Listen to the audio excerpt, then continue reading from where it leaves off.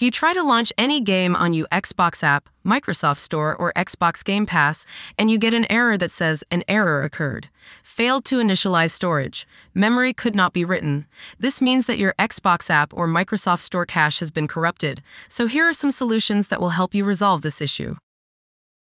First, open the link that you will find in the description of this video.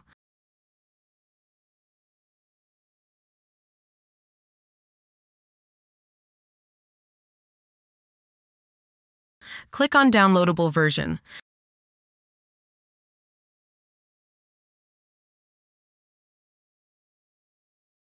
Click on Download the Gaming Services Repair Tool for PC. Wait for the repair to be downloaded.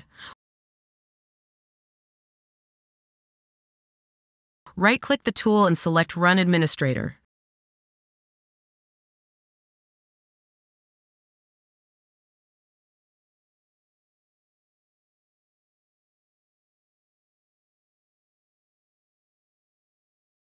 Select Yes. Now wait for the tool to repair your Xbox app.